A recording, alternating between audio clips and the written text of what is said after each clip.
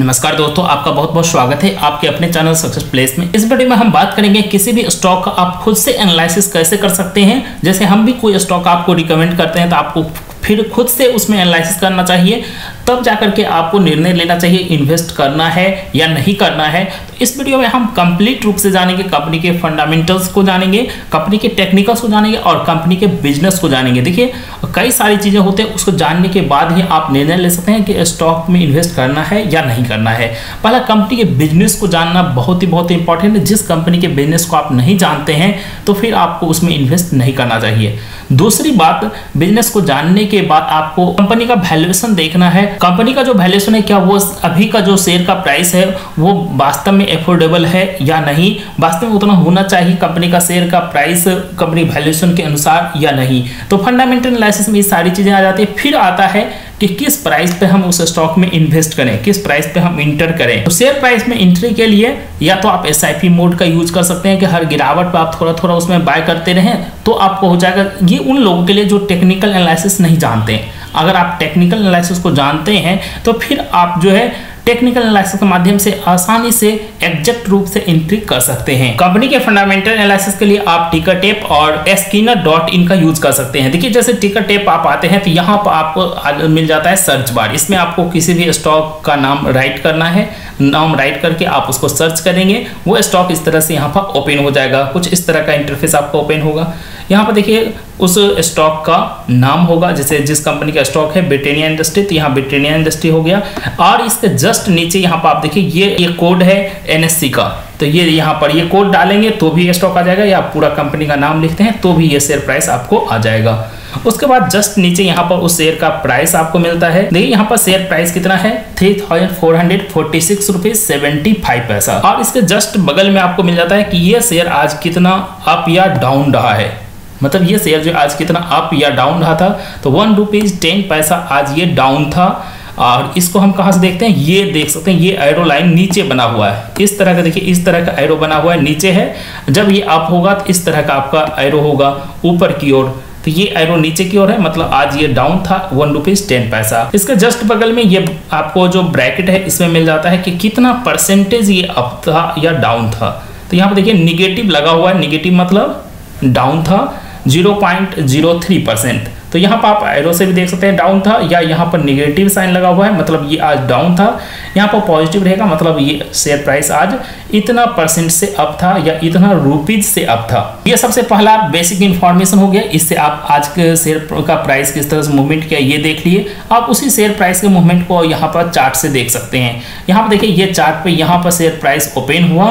और यहाँ से ये स्टॉक डायरेक्ट ये डाउन आया, फिर ऊपर गया, फिर देखते हैं डाउन आया, फिर ऊपर गया, फिर यहाँ पर डाउन आया, फिर यहाँ पर ऊपर गया, फिर यहाँ देखते हैं डाउन आया, फिर यहाँ ऊपर गया और फिर देख सकते हैं लगातार ये डाउन आया। तो कुछ इस तरह का आज का प्राइस ट्रेंड रहा ब्रिटेनिया इंडस्ट्रीज़ का।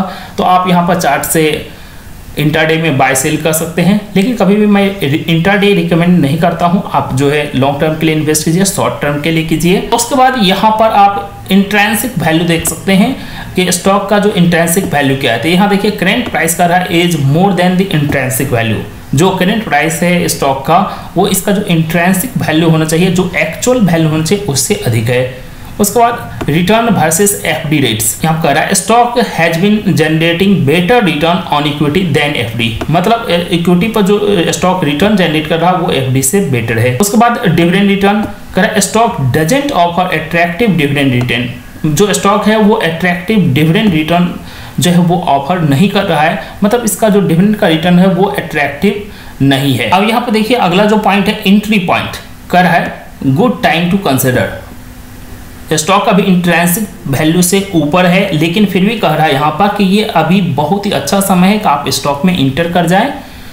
Stock is not in overbought zone मतलब इंट्रेंसिक वैल्यू से स्टॉक थोड़ा सा ज़्यादा प्राइस है, लेकिन ओवरबाउट जोन में नहीं है। मतलब बहुत ही एक्चुअल प्राइस है जहाँ पर आप ब्रिटेनिया इंडस्ट्री में अभी आप इन्वेस्ट कर सकते हैं। अब देखिए यहाँ पर नो रेड फ्लैग मतलब कोई भी इसमें रेड फ्लैग नहीं है कि आप इसमें इन्वेस्ट नहीं कर सकते हैं। मतलब कोई भी अभी दिक्कत नहीं है।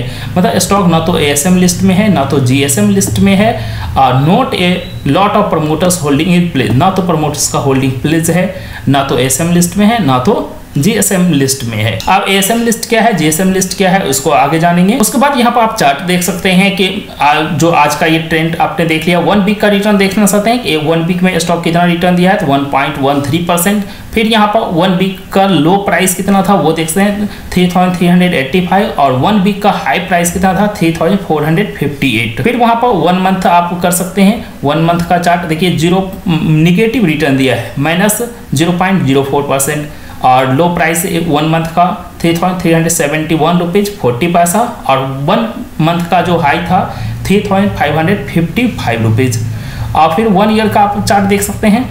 वन ईयर में जो रिटर्न दिया है stock zero point three five percent और वन ईयर का लो है three thousand three hundred five rupees seventy five पैसा और वन ईयर का जो हाई है फोर थाउज़ेंड टेन रुपीज़ फिर आप फाइव ईयर का चार्ट देख सकते हैं।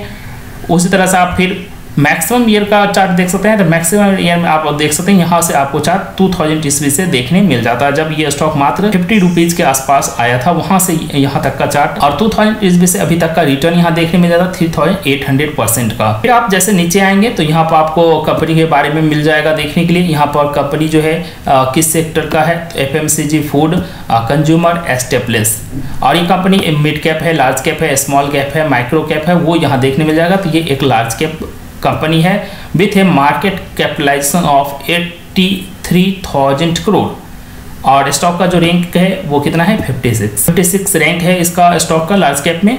आप देखिए lower risk stock is 1.19 percent as volatile as Nifty Nifty जितना वोलेटाइल है मतलब निफ्टी जितना ऊपर या नीचे जाता है, उससे ये 1.19 परसेंट वोलेटाइल है। मतलब उसके बाद आगे आता है की मैट्रिक्स यहाँ पर देखिए, आपको पी रेशियो मिल जाएगा स्टॉक का पी कितना है? तो 44.56 जबकि सेक्टर का पी कितना है? 34.52 तो ये थोड़ा सा महँगे पी पर मिल रहा है, जो कि आपको यहाँ पे भी देखने मिल रहा है। इंट्रेंसिक वैल्यू से थोड़ा सा ज़्यादा है स्टॉक का वैल्यू अब यहाँ प्राइस टू बुक वैल्यू एक रुपया बुक वैल्यू के लिए इन्वेस्टर कितना रुपया पे करने जा रहा है? और यहाँ पर पी में होता है, एक रुपया के अर्निंग के लिए कितना रुपया हम पे कर रहे हैं? मतलब एक वन ईयर में कंपनी जो एक रुपया अर्न करती है, उसके लिए इन्वेस्टर कितना रुपया देने के लिए तैयार है? चौवालीस रुपया फिफ्टी सिक्स पैसा। और वहीं एक रुपया बुक वैल्यू के लिए इन्वेस्टर कितना देने के लिए तैयार है? एट्टीन रुपीज़ सेवेंटी वन पैसा। जबकि सेक्टर का प्राइस टू बुक वैल्यू कितना है? टेन का है। तो यहाँ प्राइस टू बुक वैल्यू भी हाइयर है। अब कंपनी के डेट की बात करें तो टोटल डेट है कंपनी के ऊपर। Fifteen hundred thirty seven crore का। टोटल जो इक्विटी है कंपनी के पास four four hundred thirty eight crore का। और यहाँ पर डेट टू इक्विटी रेशियो देखिएगा तो काफ़ी कम है। जो डेट टू इक्विटी रेशियो आपको देखने मिलेगा, वो बहुत ही बहुत कम है, लगभग 0.3 के पास है, जो कि काफ़ी कम है। तो लगभग नीलिजिबल डेट है कंपनी के ऊपर।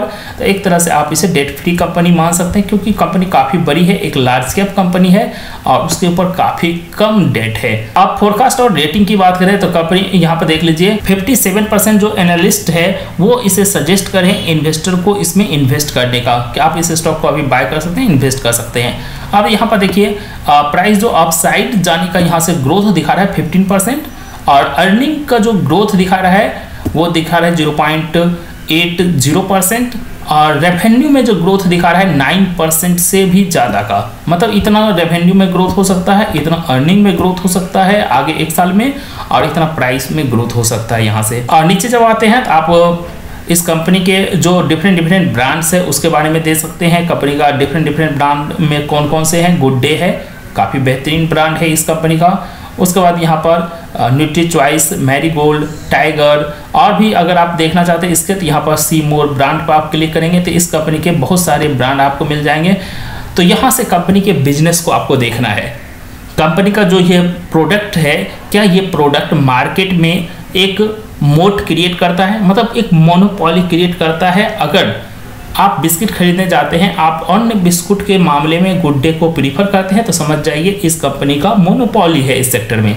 मतलब अपने जो पीर है मतलब अपने सेक्टर की जो अलग कंपनियाँ हैं, उससे ये कंपनी ज़्यादा बेहतर है प्रोडक्ट के मामले में तो इसका शेयर भी ज़्यादा बेहतर होगा। आप देखिए मैरी गोल्ड है टाइगर है, क्या आप इसको दूसरे बिस्किट के मामले में ज़्यादा प्रीफर करते हैं? और ब्रिटेनिया बिस्किट भी है, क्या इसको आप ज़्यादा प्रीफर करते हैं? तो समझिए, इस कंपनी का मोनोपॉली है मतलब अन्य कंपनियाँ जो है इस सेक्टर की, उससे ये ज़्यादा मतलब वैल्यू रखता है मार्केट में तो आपको रिटर्न भी ज़्यादा देगा। अब उसके बाद नीचे आता है जो इंपॉर्टेंट चीज़ें हैं फाइनेंशियल ट्रेंड कंपनी के फाइनेंशियल ट्रेंड को समझना मतलब फाइनेंशियल हेल्थ को समझना बहुत ही ज़रूरी है। अब देखिए यहाँ पर ये रेवेन्यू है। देखिए यहाँ पर रेवेन्यू है टेन थाउज़ेंड करोड़ का रेवेन्यू था। एलेवन थाउज़ेंड करोड़ का यहाँ पर देख सकते हैं रेवेन्यू हो गया, बढ़ता जा रहा है। 11.88 करोड़ का रेवेन्यू हो गया 13.45 करोड़ का रेवेन्यू हो गया। तो जो रेवेन्यू है वो लगातार बढ़ रहा है और रेवेन्यू किसमें है? थाउज़ेंड करोड़ में यहाँ पर आप देख सकते हैं। तो इतना रेवेन्यू तेज़ी से इंक्रीज हो रहा है एक ब्लू चिप कंपनी का। आप देखिए यहाँ पर प्रॉफिट वन थाउज़ेंड करोड़ का था, बढ़ करके हो गया one point one six thousand crore का। तो यहाँ पर जो प्रॉफिट है वो भी इंक्रीज हो रहा है। फिर 2020 में इंक्रीज होकर के हो गया 1.40 परसेंट का। प्रॉफिट फिर इंक्रीज होकर के ये प्रॉफिट हो गया 1.86 परसेंट का। तो लगातार जो है यहाँ पर इंक्रीज हो रहा है रेवेन्यू और लगातार इंक्रीज हो रहा है प्रॉफिट तो इस तरह से आपने कंपनी के फाइनेंशियल परफॉर्मेंस को जो देखा तो काफ़ी बेहतरीन है। कंपनी के बिज़नेस को देखा तो कंपनी का जो बिज़नेस है, क्या वो मोनोपॉली क्रिएट कर रहा है? तो ये तो आपको खुद से पता करना पड़ेगा कंपनी का बिज़नेस जो है मोनोपॉली क्रिएट करता है या नहीं। क्या आप उस कंपनी के प्रोडक्ट को खुद प्रीफर करते हैं दूसरे कंपनियों से? तो वो बिज़नेस का समझने हो गया। आप बिज़नेस को समझ लिए फाइनेंशियल हेल्थ को समझ लिए। अब यहाँ पर देखिए, थोड़ा सा यहाँ पर प्रमोटर्स के होल्डिंग है। प्रमोटर्स का होल्डिंग अगर कंपनी में बढ़ रहा है तो वो कंपनी का ये विजन दिखाता है कि आने वाले समय में कंपनी काफ़ी कुछ अच्छा करने वाला है और शेयर यहाँ से आगे बूम होने वाला है। अगर प्रोमोटर स्टेक घटा रहा है मतलब वो खुद कंपनी में जो है कॉन्फिडेंट नहीं है, खुद कंपनी के ग्रोथ को लेकर के पॉजिटिव नहीं है। तो इन सब बातों को आपको ध्यान रखना है। तो यहाँ पे ये सिक्स मंथ में प्रोमोटर्स जो ऑलमोस्ट कांस्टेंट रहा है स्टेक कोई भी होल्डिंग लगभग प्लेज नहीं है इनसफिशियंट बता रहा है मतलब कोई भी होल्डिंग प्लेस्ड नहीं है। अब देखिए, ये जो प्रमोटर्स होते हैं, ये एक तरह से जो आप जहाज़ होते हैं, उसके कैप्टन हैं। अगर आपका कैप्टन ही खराब हो गया मतलब कैप्टन ही सही नहीं है तो जहाज़ को डुबो सकता है मतलब जहाज़ का डायरेक्शन भटक सकता है तो ये सारी चीज़ें याद रखना है। फिर म्यूचुअल फंड देखिए म्यूचुअल फंड का जो स्टेक है, वो भी कांस्टेंट है। मतलब म्यूचुअल फंड का होल्डिंग अगर बढ़ रहा है मतलब जो रिसेंट टाइम है, उसमें प्राइस ऊपर जाने वाला है। अगर म्यूचुअल फंड का होल्डिंग जो बड़े बड़े इंस्टीट्यूशन का होल्डिंग है, वो जो है, घटा रहा है अपना स्टेक मतलब यहाँ से शेयर प्राइस में कुछ करेक्शन हो सकता है या गिरावट भी हो सकती है या हो सकता है कंपनी में कोई बैड न्यूज़ आने की संभावना है। मतलब कंपनी के फ्यूचर को लेकर के पॉजिटिव नहीं है, जो बड़े बड़े इंस्टीट्यूशन है। अगर यहाँ बड़े बड़े इंस्टीट्यूशन पॉजिटिव नहीं है तो इसका मतलब ये नहीं कि कंपनी शेयर प्राइस ऊपर नहीं जा सकता, उसके बावजूद भी जा सकता है। कुछ भी हो सकता है, वो कंपनी के आने वाला समय तय करेगा कि कंपनी किस डायरेक्शन में जाएगी। अब देखिए, यहाँ पर दूसरा जो ऑप्शन है, ये तो ओवरव्यू हो गया कंपनी का, जो मैंने देखा अब फोरकास्ट तो यहाँ पर आपने देख लिया, जो एनालाइज लिस्ट है, उनका क्या रेटिंग है और 57 परसेंट आपको बाय रेटिंग कर रहा है कि आप लॉन्ग टर्म के लिए इसमें इन्वेस्ट कर सकते हैं। उसके बाद यहाँ पर नीचे आ जाता है प्राइस फोरकास्ट रेवेन्यू फोरकास्ट तो आपने देख लिया।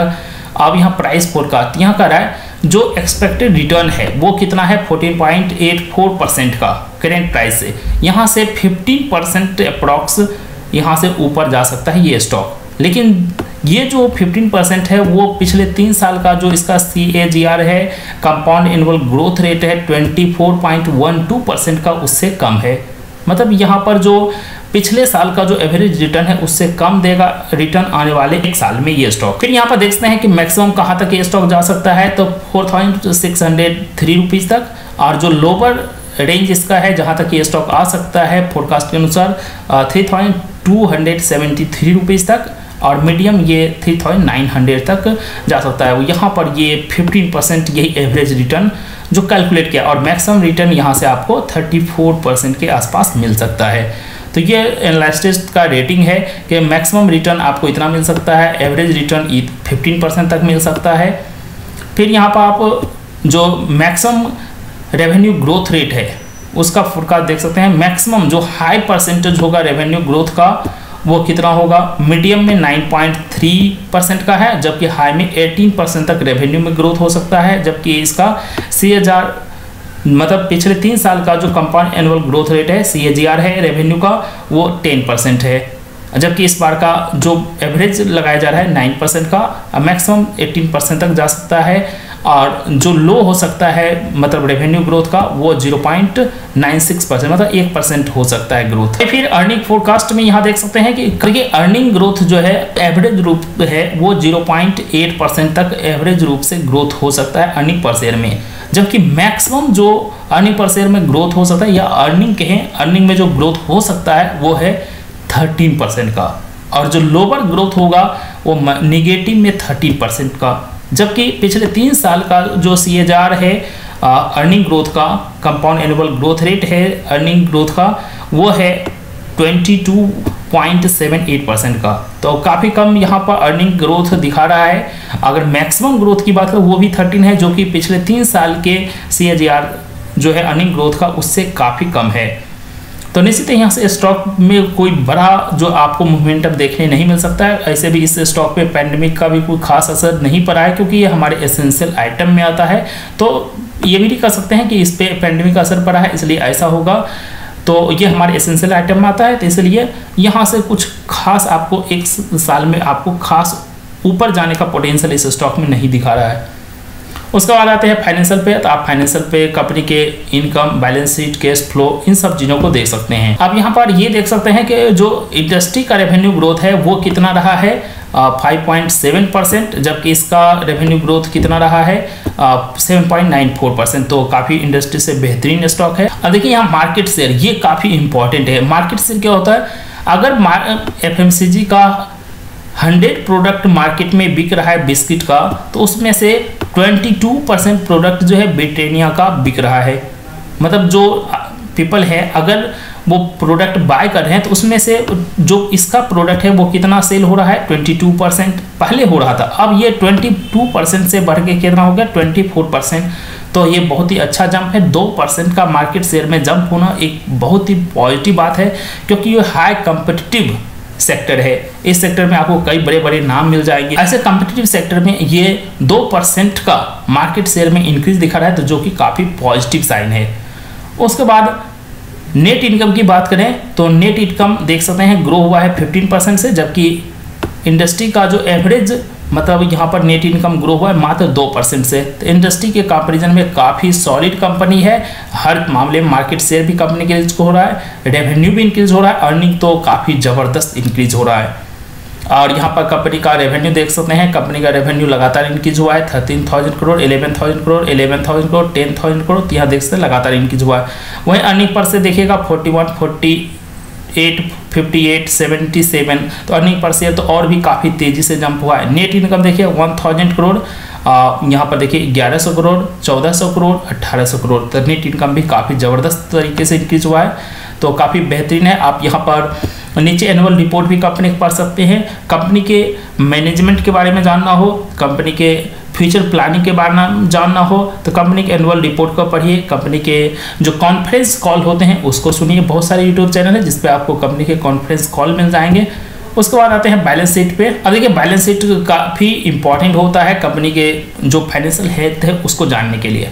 देखिए, जो यहाँ पर डेट टू इक्विटी रेशियो है, वो काफ़ी कम है। डेट टू इक्विटी जो रेशियो है, वो 0.1 है। यहाँ पर देखिए परसेंटेज में इसको 100 से डिवाइड कर दिए 0.1 परसेंट काफ़ी कम हो गया ये डेट टू इक्विटी रेशियो मतलब जो इक्विटी है, उसका मात्र 11 परसेंट डेट है, जबकि इंडस्ट्री के और जो कंपनी है, उसका एवरेज रूप से 53 परसेंट जो इक्विटी का डेट है, उसके पास तो काफ़ी कम है। अगर ये मतलब 20 परसेंट हो 10 परसेंट हो, समझिए काफ़ी कम है। 100 परसेंट तक चलता है 100 परसेंट ऊपर हो, तब यहाँ तो मात्र 11 परसेंट है। अब देखिए करेंट रेशियो करेंट रेशियो क्या होता है? जो करेंट एसर्ट है, बटे करेंट लाइबिलिटीज करेंट एसर्ट बटे करेंट लाइबिलिटीज तो यहाँ पर एसर्ट क्या होना चाहिए? ज़्यादा होना चाहिए। तो ये रेशियो जो होना चाहिए हंड्रेड परसेंट से कम नहीं होना चाहिए और debt to equity hundred percent से ज़्यादा नहीं होना चाहिए। दोनों एक दूसरे के अपोजिट है। तो ये देखिए 165 परसेंट है, जो कि बेटर है। और ये बहुत ज़्यादा भी नहीं होना चाहिए 300 परसेंट से ज़्यादा हो गया। तो समझिए कंपनी जो अपने करेंट एसेट को अच्छे से यूज़ नहीं कर पा रहा है अपने ग्रोथ में। तो ये भी याद रखना है, ज़्यादा भी नहीं होना चाहिए। इतना ज़्यादा ना हो कि कंपनी अपने एसेट को यूज़ ही नहीं कर पा रहा है अपने ग्रोथ में तो वो भी एक बैड है। तो ये देखिए इंडस्ट्री से ज़्यादा बेटर है। इंडस्ट्री 143 परसेंट है इसका 165 परसेंट है, जो कि काफ़ी बेटर है। और यहाँ पर टोटल करेंट एसेट देख भी सकते हैं। कंपनी के पास करेंट एसेट कितना है करेंट लाइबिलिटीज कितना है, दोनों को डिवाइड कर दीजिए, आपको करेंट जो रेशियो है, वो आ जाएगा। फिर यहाँ पर कैश फ्लो देखते हैं। कैश फ्लो क्या होता है? कंपनी का जो हेल्थ है रिसेंट टाइम में वो हेल्थ अच्छा है या फाइनेंशियल हेल्थ कंपनी का खराब हो रहा है? देखिए, ये जो है net change in cash flow अगर पॉजिटिव है तो समझिए कंपनी का हेल्थ अच्छा है। मतलब कंपनी को कैश आ रहा है। कैश आ रहा है कंपनी के पास तो कंपनी का हेल्थ अच्छा है। अगर कंपनी से कैश लगातार आउटफ्लो हो रहा है मतलब कंपनी का फाइनेंशियल हेल्थ जो है वो काफ़ी ख़राब है। तो यहाँ देखिए फ्री कैश फ्लो इतना है कंपनी के पास जो कि काफ़ी पॉजिटिव है। तो ये देखिए, सारे पैरामीटर्स आपको यहाँ पर सीखने मिल जाएँगे। बाद में हम टेक्निकल चार्ट भी बताएँगे। टेक्निकल चार्ट भी मेरा काफ़ी सॉलिड है, जिससे हम कंपनी को किस प्राइस पर बाय करेंगे वो देखने मिल जाएगा।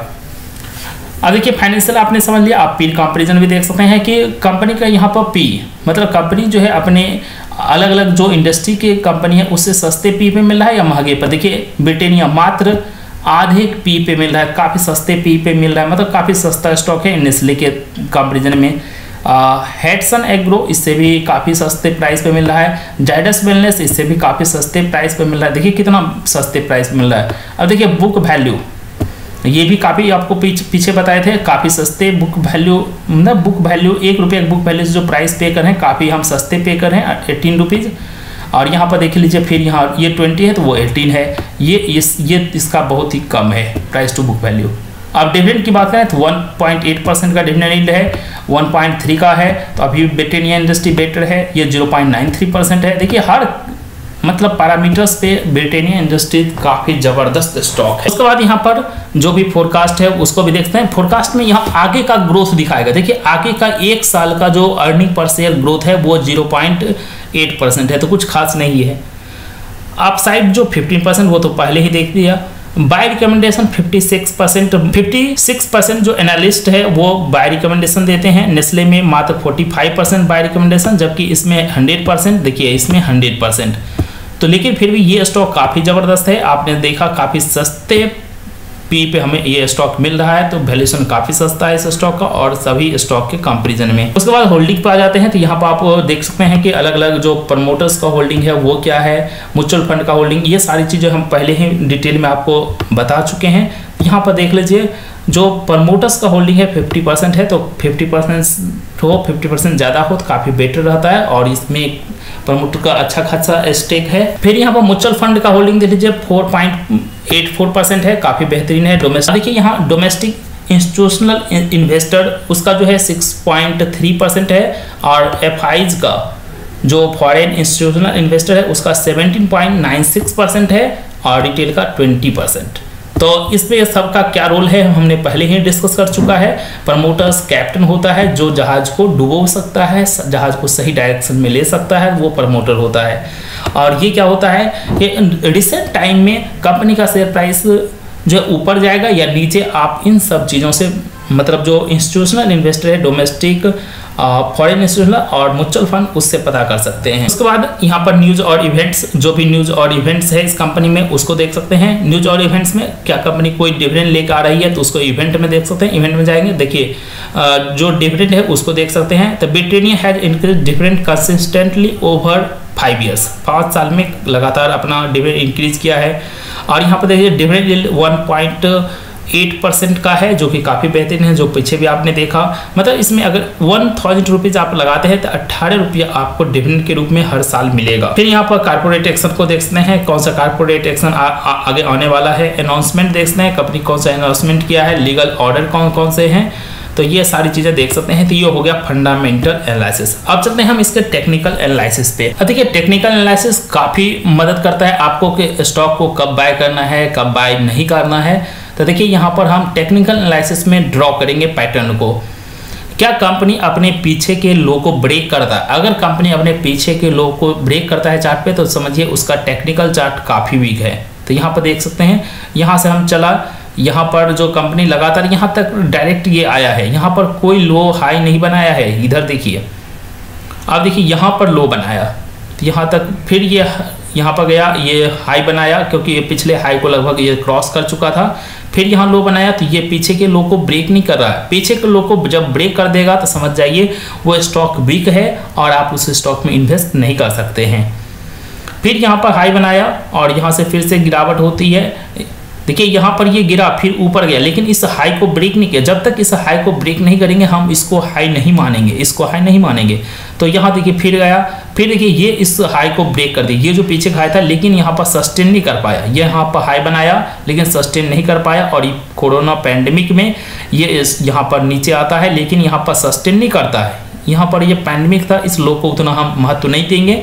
लेकिन यहाँ पर देखिए, इस यहाँ पर जो लो है लगभग बराबर ही बना पैंडमिक था तो उसके कारण थोड़ा सा ज़्यादा ये स्टॉक में गिरावट हुआ, लेकिन यहाँ पर सस्टेन नहीं किया। तो इस लो को उतना हम वैल्यू नहीं देंगे, लेकिन कंपनी अपने लो को एक तरह से ब्रेक नहीं किया। यहाँ ब्रेक करके यहाँ पर सस्टेन होना चाहिए इस लो के नीचे। फिर यहाँ पर देखिए, एक नया हाई बनाता है और फिर से यहाँ पर एक नया लो बनाने की तैयारी है। अगर यहाँ से स्टॉक अब ये बाउंस बैक करता है अब समझ लीजिए, यहाँ से स्टॉक बाउंस बैक करता है तो आपको यहाँ पर ज़बरदस्त मोमेंटम ऊपर की ओर देखने मिलेगा। तो ये अभी बेस्ट टाइम है, क्योंकि यहाँ पर आप देख सकते हैं, कई बार ये स्टॉक इस प्राइस पर मतलब इस 20 मूविंग एवरेज पे कई बार सपोर्ट लिया है। तो अगर यहाँ से गिरता भी है तो कुछ खास नीचे नहीं आएगा, क्योंकि ये इसका सपोर्ट लेवल होगा। ये जो पहले रेसिस्टेंस लेवल था थ्री थाउज़ेंड टू हंड्रेड ये अब इसका सपोर्ट लेवल होगा। तो यहाँ से ज़्यादा ज़्यादा टू हंड्रेड रुपीज़ नीचे आ सकता है, लेकिन अप साइड पोटेंशियल काफ़ी ज़्यादा है। तो ऊपर जो ये stock four thousand three hundred तक फोर थाउज़ेंड फाइव हंड्रेड तक आसानी तक जा सकता है। तो ये था टेक्निकल चार्ट पे। टेक्निकल चार्ट पे ये स्टॉक काफ़ी सॉलिड है और टेक्निकल चार्ट इसका बहुत इजीली आप यहाँ पर समझ सकते हैं। अगर यहाँ पर डिटेल में समझना हो पीछे के चार्ट को क्योंकि हमको ज़्यादा पीछे के चार्ट से मतलब नहीं है। अगर पीछे के चार्ट को यहाँ पर जूम करेंगे, तब हमें यहाँ पर लो हाई दिखेगा। देखिए, यहाँ पर हम जूम करते हैं। हमने तो यहाँ तक का मोमेंटम डायरेक्ट ले लिया था। अब यहाँ पर देखिए जूम करते हैं। तो यहाँ पर देखिए, पीछे से आपको लगभग टेन ईयर्स का हम ही यहाँ पर लिए थे। अब और पीछे का चार्ट देखना। तो देखिए, यहाँ पर गया था कंपनी हाई बनाया, फिर यहाँ लो बनाया, फिर यहाँ हाई बनाया, फिर यहाँ लो बनाया। देखिए, ये पीछे के लो को ब्रेक किया, नहीं किया। सेम लो बनाया। फिर यहाँ पर देखिए एक हाई बनाता है, क्योंकि ये यहाँ पर थोड़ा सा गलती हो गया। ये हाई नहीं था। ये जो था हाई ये हाई नहीं था क्योंकि ये पीछे के हाई को ब्रेक जब तक नहीं करेगा, उसको हम हाई नहीं बोलेंगे। ये दोनों सेम ही लो था। अब देखिए, फिर यहाँ पर आता है कंपनी यहाँ पर लो बनाता है। फिर यहाँ पर हाई बनाता है ये सर फिर यहाँ पर लो और देखिए, फिर ये हाई अब देखिए, यहाँ पे इसको हाई नहीं लेंगे। यहाँ पर हमने थोड़ा सा मिस्टेक किया था, इसको हाई नहीं लेंगे क्योंकि ये पीछे वाले इस हाई को ब्रेक नहीं किया। जब तक ब्रेक नहीं करता तो उसको हाई नहीं कहेंगे। अब देखिए, यहाँ पर ये ब्रेक कर दिया तो ये नया हाई हो गया।